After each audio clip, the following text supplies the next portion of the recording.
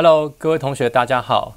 现在请跟着老师看到一零四年只考非选择题一，题目是在利用探针测量两电极间等电位线与电场分布时，所需的器材如图 A 所示，其中的测试盘具有导电性，是回答或完成下列各问题。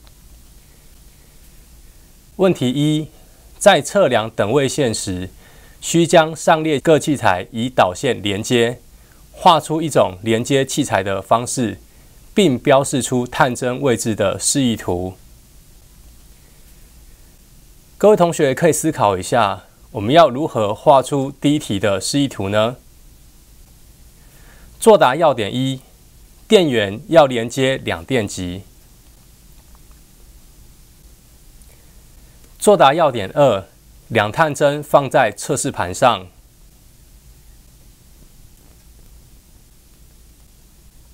作答要点三：P 一、P 二两探针需在减流计两侧。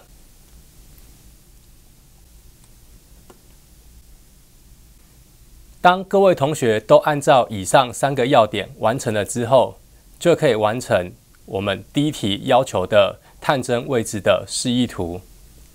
参考解答如画面所示。接下来我们看到第二题，在线路连接完成后，进行测量等电位线的实验，其步骤如下所示，是完成步骤 A 空格内的内容。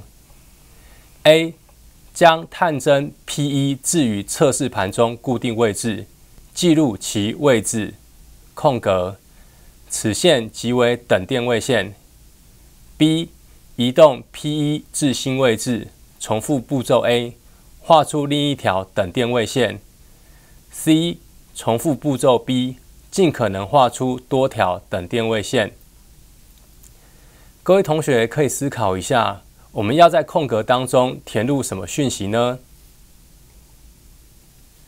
参考解答：移动 P 二。以使减流计读数为零，然后记录 P 二的位置，再移动 P 二，记录下所有可使减流计读数为零的位置，并将这些位置连线。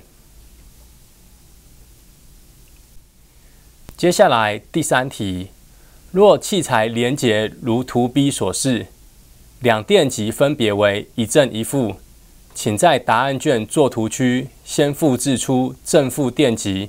与甲乙丙丁四点的位置，然后分别画出通过甲乙丙丁四点的等电位线一小段即可，及电力线需标示方向。作答要点一：画出通过甲乙丙丁四个点的等电位线后，取一小段。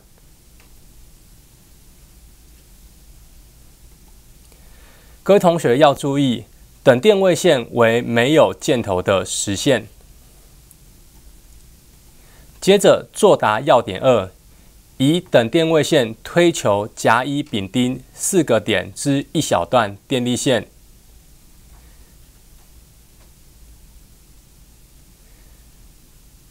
各位同学要注意，电力线为带有箭头的实线，箭头为电力线方向。与等位线垂直。